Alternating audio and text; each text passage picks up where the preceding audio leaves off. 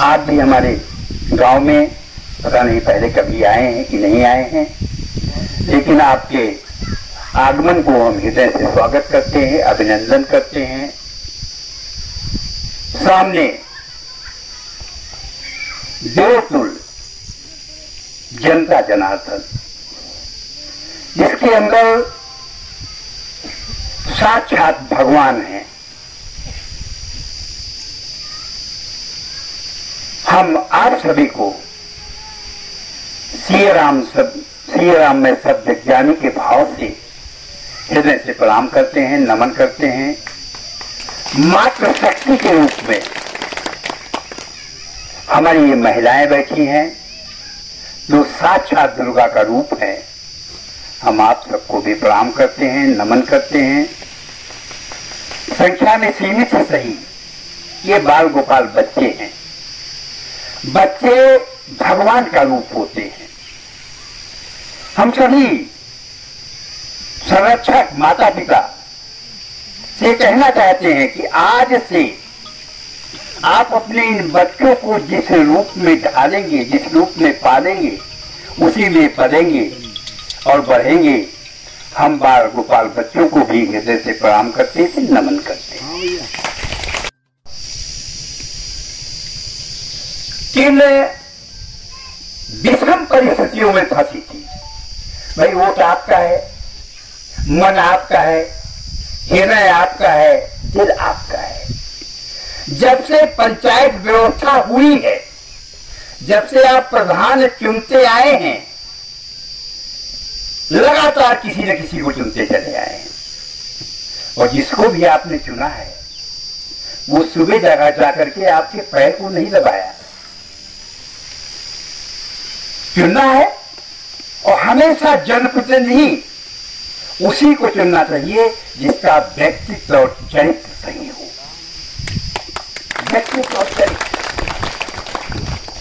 पंडित श्रीकांत अवस्थी जी जो हमारे सम्मानित पत्रकार हैं, इनकी लेखनी को मैं अक्सर तारीफ़ किया करता हूँ। कहो कल हमारे ही बारे में उल्टा लिखते लेकिन लिखेंगे तो धड़ाके से लिखेंगे।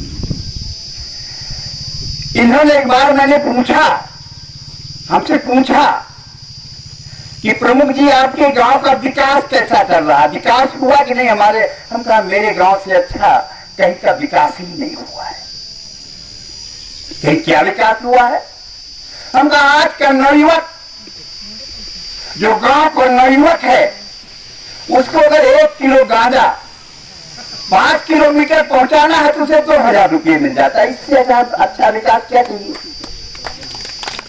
एक पेटी शराब अगर पहुंचानी है तो उसके उसके तीन हज़ार रुपये मिल जाते हैं। इससे अच्छा विकास क्या चाहिए सबको रोज़गार दे रखा है। आप अपना मकान बना रहे हैं, खेती बढ़ा रहे हैं, आखिर किसके लिए? बच्चों के लिए ना। अपने बच्चों के लिए ही तो सब लोग आप काम कर रहे हैं। लेकिन यही बच्चे अगर गलेरी और नशेड़ी हो जाएँगे तो जो आपने बनाया है, उसको बेचने में समय नहीं लगेगा। खैर, चुनाव हुआ, चुनाव संपन्न हुआ। हमारी अपनी तो कोई औकात, हैसियत थी नहीं।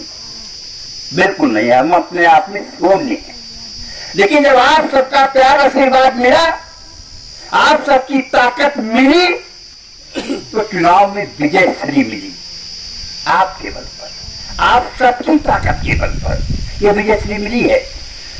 और हम आपको विश्वास दिलाते हैं इन पाँच सालों में। हम अपने बारे में थोड़ा कहेंगे। सबसे पहले तो वो दिन, सबसे बड़ा दुर्भाग्यशाली दिन मानता हूँ, जिस दिन राजनीति जैसे गंदे काम में कदम रखा।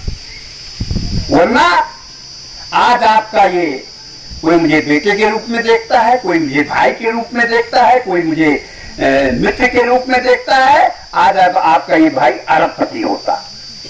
इतना सुंदर काम करता था। लेकिन आए थे विधायक बनने, विधायक नहीं बन पाए। एक पद आप लोगों ने ब्लॉक प्रमुख का दिया था।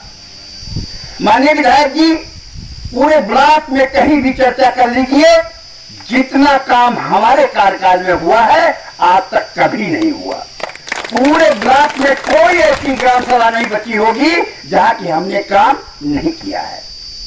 तो कहना चाहते हैं, आए थे विधायक बनने, विधायक तो नहीं बनता है मेरे नसीब में नहीं था, क्योंकि तमाम अवसर आए थे कि हम विधायक बन सकते हैं। थोड़ी सी ज़िंदगी बची है हमारी। समय कम है। कार्यकाल भी पाँच साल का समय कम है। ध्यान सुनिएगा, उम्र भी कम है। क्योंकि आज जो, आजकल जो समय समय काल चल रहा है, हम लोग ईश्वर करे, सबको लंबी उम्र दे, कल सुबह किसी के बारे में कुछ भी सुनने को मिल सकता है। समय भी कम है, उम्र भी कम है। इसलिए बिना आप सबके सहयोग के, बिना आप सबकी ताकत के, हम गाँव का विकास नहीं कर पाएँगे। हम सुबह जब घर से निकलेंगे तो किस विधायक से मिले, किस सांसद से मिले, किस राज्यसभा सदस्य से मिले, किस डीएम से मिले किस सीढ़ियों से मिले, मेरा एक लक्ष्य होगा कि गाँव के कोना कोना का दिखा। और ये सब आप सब पूरा करने में मेरी मदद कीजिए।